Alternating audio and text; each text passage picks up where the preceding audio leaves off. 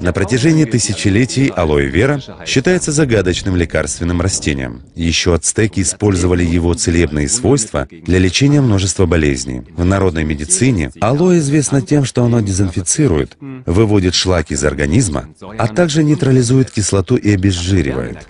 Согласно современным исследованиям, оно положительно влияет на уровень сахара в крови и содержание холестерина. Но алоэ вера — это не всегда алоэ вера. Настоящая алоэ вера или алоэ барбаденсис — это пустынная лилия, выращиваемая в сухих районах, преимущественно в Центральной и Северной Америке.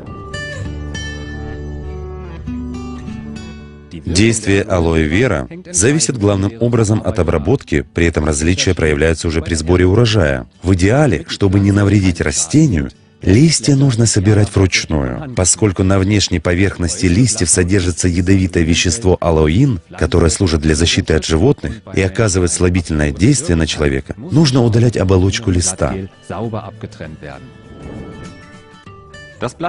Самое полезное в алоэ — это гель, содержащийся в листьях. В нем более 150 важных компонентов, как, например, витамины, энзимы, полисахариды и микроэлементы. Это неповторимое сочетание компонентов составляет целебные свойства алоэ.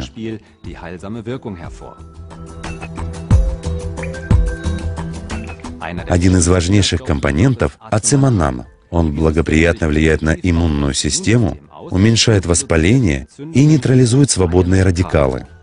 В результате улучшается снабжение кислородом. Рассмотрим более подробно. Кислород поступает в кровь и переносится в клетки всего организма. Кровеносные сосуды разветвляются, становятся все меньше и меньше, и так до капилляров. Капилляры — это мельчайшие кровеносные сосуды, по которым кислород поступает в клетки. Неправильное питание